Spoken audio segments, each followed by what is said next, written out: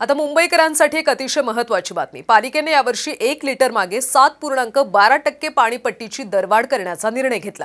पाणी पुरवठा खर्चात दहा ते पन्नास टक्क्यांपर्यंत झालेल्या वाढीमुळे पाणीपट्टी वाढवण्याचा निर्णय घ्यावा लागला असं पालिकेनं म्हटलं पुढील महिन्यापासून या निर्णयाची अंमलबजावणी केली जाणार. ठाणे जिल्ह्यातल्या शहापूर भागातून मुंबईत पाणी आणावं लागतं त्यानंतर त्याचं शुद्धीकरण आणि पंपिंगही करावं लागतं. यासाठी बराच खर्च होतो आणि म्हणूनच पालिकेनं पाणीपट्टीत वाढ करण्याचा निर्णय घेतला. पाहूयात पुढची बातमी. परवानगीशिवाय आत येऊ नये अशा सूचनेच्या पाट्या तुम्हाला सर्वच सरकारी कार्यालयात बघायला मिळतील.